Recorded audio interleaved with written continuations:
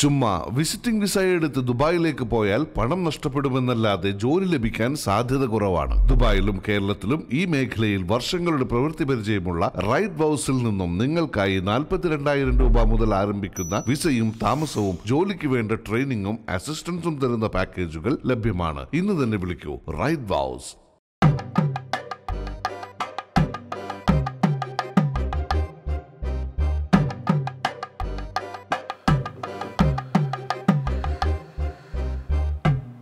ദാ. നിന്റെ തലവട്ടം കണ്ട അന്ന് മുതൽ തുടങ്ങിയതാണ് എന്റെ കാലക്കേട്. ഞാൻ എന്ത് ചെയ്തു? എന്ത് ചെയ്തെന്നാ ഇവിടെ ഇന്നലെ അടിച്ചു പൂസായി നീ ഹരിയേട്ടന്റെ എന്നോ എന്ന് പറഞ്ഞത്. അത് ഞാൻ അയാളുടെ കടയിൽ പോയത് എനിക്ക് ഓർമ്മയുള്ളൂ. എന്താണ് സംസാരിച്ചതെന്ന് എനിക്ക് ഓർമ്മയില്ല.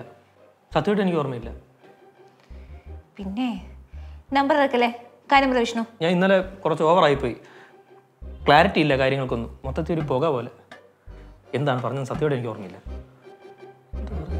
ഈ ഹരിയേട്ടൻ എന്റെ ആരാ? നിന്റെ ചേട്ടൻ. ആണല്ലോ. ഒരേട്ടനോട് പറയാൻ പറ്റുന്ന കാര്യങ്ങൾ വല്ലതാണോ നീ അയാളോട് നില വിളിച്ചു പറഞ്ഞത്? നീ ആയോണ്ടാണ് എനിക്ക് പേടി. ഒന്നും വിശ്വസിക്കാൻ പറ്റില്ല. ഡാ പുള്ളി കരഞ്ഞാൽ മാത്രമേ നമ്മുടെ കല്യാണം നടക്കത്തുള്ളൂ എന്നുള്ള കാര്യം അറിയാവോ? അറിയാം. ആ.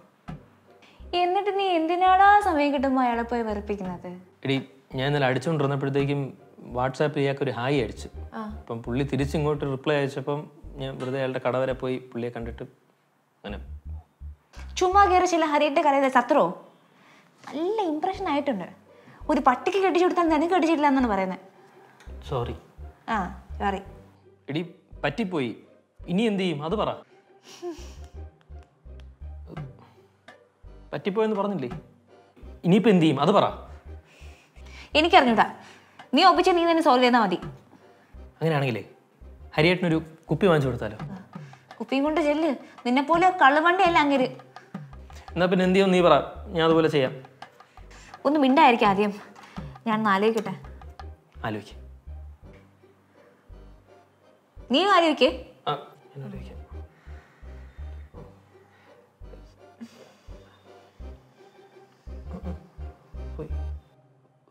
എടി എനിക്ക് വേറെ ഐഡിയ കിട്ടുന്നുണ്ട്. ഞാൻ ഹരിയേട്ടനെ വിളിക്കുന്നു. എന്നിട്ട് എനിക്ക് സ്വപ്നത്തിൽ എനിക്ക് നടക്കുന്ന ഒരു അസുഖം ഉണ്ടെന്ന് പറയുന്നു. അതുകൊണ്ട് രാത്രി അറിയാതെ കടയിൽ പോയതാണെന്ന് പറയാം. ആ അത് സൂപ്പർ ആയിരിക്കും കേട്ടോ.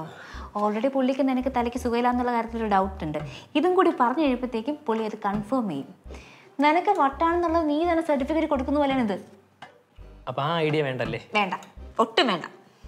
പിന്നെന്ത് ചെയ്യും? വേറൊരു ഐഡിയ ഉണ്ട്. നിനക്ക് ഗർഭമാണെന്ന് പറഞ്ഞ് ഒരു ഊമക്ക തയ്ച്ചാലോ നിന്റെ തന്തയ്ക്കാണോ ഗർഭം? ഇപ്പം ഈ മതമണ്ടനാണല്ലോ ഞാനോട് തല വയ്ക്കാൻ പോകുന്നത്. നീ വല്ലതും പറഞ്ഞു. ഒന്നും പറഞ്ഞില്ല. ആ. നിനക്ക് വല്ല ഐഡിയ തോന്നുന്നുണ്ടോ.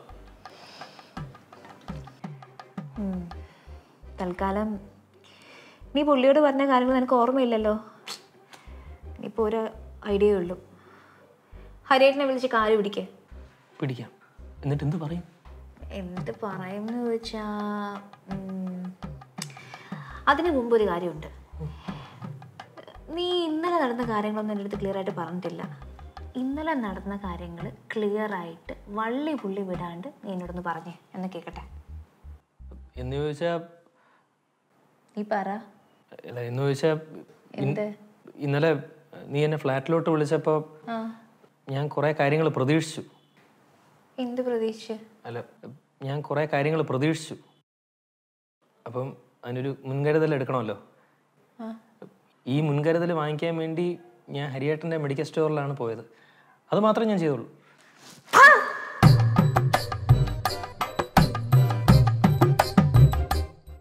നയന്റി ഫോർ പ്ലേ ഹൗസ് സംഘടിപ്പിക്കുന്ന ഇൻഡിപെൻഡൻസ് ഡേ ഗിവ് എവേയിൽ നിങ്ങൾക്കും ഭാഗമാകാം. തിരഞ്ഞെടുക്കുന്ന ഭാഗ്യശാലിക്ക് റിയൽമി ബ്ലൂടൂത്ത് ബഡ് സ്വന്തമാക്കാൻ അവസരം. ജോയിൻ ചെയ്യാനായി നിങ്ങൾ ചെയ്യേണ്ടത് ഈ വീഡിയോ ലൈക്ക് ചെയ്യുക ചാനൽ സബ്സ്ക്രൈബ് ചെയ്യുക. ഹാഷ്ടാഗോടുകൂടി നയന്റി ഫോർ പ്ലേ ഹൗസ് എന്ന് കമന്റ് ചെയ്യുക. ശേഷം സ്ക്രീൻഷോട്ട് എടുത്ത് ഡിസ്ക്രിപ്ഷൻ ബോക്സിൽ കാണുന്ന നമ്പറിലേക്ക് വാട്സ്ആപ്പ് വഴി രണ്ടായിരത്തി ഇരുപത്തിരണ്ട് ഓഗസ്റ്റ് പതിനാലിന് മുൻപായി ഞങ്ങൾ അയച്ചു തരിക.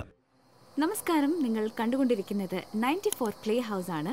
സോ മറക്കാതെ സബ്സ്ക്രൈബ് ചെയ്യുക നോട്ടിഫിക്കേഷൻസിന് വേണ്ടി ബെൽ ഐക്കൺ ക്ലിക്ക് ചെയ്യുക.